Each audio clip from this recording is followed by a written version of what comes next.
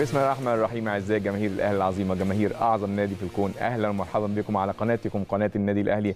وحلقة جديدة من الاستوديو التحليلي والنهاردة مباراة مهمة جدا ومحطة جديدة من محطات النادي الأهلي في بطولة مختلفة وهي بطولة كأس مصر بعد انتهاء الدوري واللي اتحسم للنادي الأهلي قبل البطولة ما تخلص بخمس جولات. زي ما حضراتكم عارفين انتهينا من بطولة الدوري ورجع الدرع مرة تانية لمكانه الطبيعي لمكانه اللي بيحبه لبيته اللي متعود عليه. بعد غياب موسمين موسمين حس إن هو بعيد عن المكان المحبب ليه. ما يقدرش يستحمل أكتر من كده. لكن هقولها زي ما قلتها قبل كده. غياب الدرع السنتين اللي فات آه إحنا ممكن نخسر سنة نخسر سنة. عادي مفيش مشكلة. إنما السنتين اللي فاتوا كان بفعل فاعل. أيوه وهفضل أقول كده لحد ما الواحد ربنا يفتكره. السنتين اللي فاتوا كان فعلا غياب الدرع بفعل فاعل. لكن الحمد لله تمت السيطرة ورجع الدرع مرة أخرى لمكانه الطبيعي. النهارده مباراة مهمة. برغم الفوارق بين الفرقتين انما إحنا عارفين مسابقة الكاس. مهما كانت الفوارق الفنية بين الفرقتين ومهما كانت ظروف الفرقتين النهارده النادي الأهلي بيلاعب الداخلية في دور ال 16 لبطولة كأس مصر على ملعب الكلية الحربية. قبل ما نتكلم في كذا موضوع منهم طبعا. موضوع مباراة اليوم تعالوا نروح لمراسلنا زميلنا العزيز فاروق صلاح من فندق الإقامة. نتعرف منه على آخر أخبار الفريق قبل مواجهة اليوم إن شاء الله. اتفضل يا فاروق.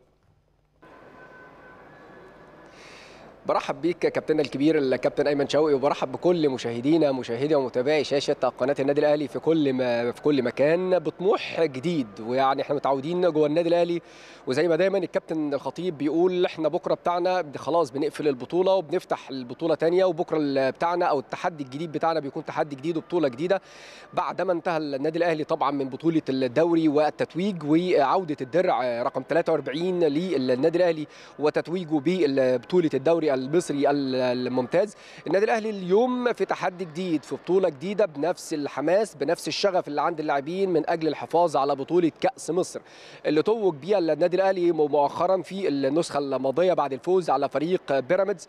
اليوم بيستعد الفريق الداخلية اللي هيواجهه طبعا في مباراة الدور ال 16 لكأس مصر. طبعا اللي بينتظر الفائز في هذه المباراة فريق المصري في المباراة القادمة في دور الثمانية. النادي الأهلي طبعا كان آخر مباراة يعني خاض في بطولة الدوري يا كابتن أيمن. زي ما أنت عارف هي مباراة المصري اللي كانت أقيمت في برج العرب بالإسكندرية بعد وانتهت بالتعادل السلبي. بعد هذه المباراة الفريق استهدف تدريباته. مستر مارسيل كولر عقد جلسة مطولة مع اللاعبين. طبعا اتكلم على إنجازات الموسم الخاصه به ببطولة الدوري وقال لسه الدوري. لسه البطولات ما انتهتش لسه الموسم بالنسبة لنا ما انتهاش. أشاد باللاعبين على مستواهم وعلى أدائهم في بطولة الدوري المصري الممتاز وأشاد بالموسم القياسي أو الموسم التاريخي أو الاستثنائي اللي عمله النادي الأهلي والتتويج بخمس بطولات. وقال للاعبين مهم جدا إن إحنا نركز في المباراة القادمة أمام فريق الداخلية واحدة من المحطات والمباريات الصعبة.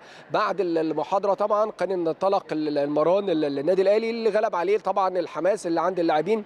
تعرف إن يعني في ظل تلاحم المباراة وخوض كل 48 ساعة مباراة لكن في حماس عند اللاعبين وده الجانب النفسي اللي بيجيده مستر مارسيل كولر مع اللاعبين والكابتن سيد عبد الحفيظ والكابتن سامي قمصان في تحضير اللاعبين وتجهيزه إن أنت تخلق دوافع جديدة للاعبين بعد ما عمل اللعيبة كل حاجة هذا الموسم.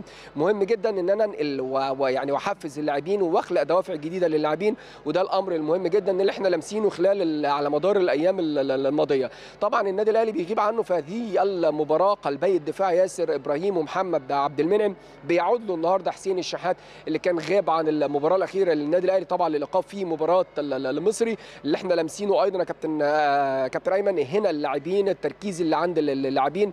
مستر مارسيل كولر وجلساته المهمه جدا. يعني شوف الجلسة جمعت ما بينه وما بين اللاعب محمد كريستو أشاد بيه بمجهوده خلال المباراة الأخيرة خاصة مباراة المصري.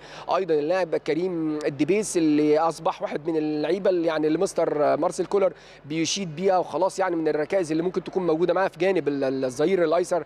ويعني مع وجود طبعا القيمة والقامه الكبيره جدا. كابتن علي معلول.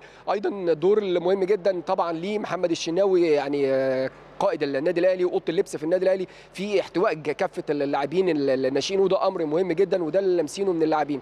طبعا النادي الأهلي بالأمس اختتم المرانو تدريباته على استاد مختار تيتش استعدادا لهذه المواجهة. ثم يعني مستر مارسيل كولر ركز على بعض الجوانب الخططية واختتم المران بالتدريب على فقرة ركلات الترجيح تحسبا للوصول إلى ركلات الترجيح في هذه المواجهة. عايز أقول لك أيضا إن فريق الداخليه طبعا طبقا للظروف القائمة والقيد طبعا بيغيب عنه مجموعة من من اللاعبين ودي من الأمور اللي مستر مارسيل كولر قال مش عايزين نبص للمنافس عايزين نحسم المباراة ايا كان العناصر اللي هيلعب بيها فريق الداخلية. لجنة الحكام كانت أعلنت عن طاقم تحكيم لهذه المباراة بقيادة الكابتن محمد يوسف حكم الساحة بيعاونوا عليه عبد الباسط وهشام طلب الحكم الرابع محمد العتباني اثنين على تقنية الفار محمد صباحي وعمر فتحي.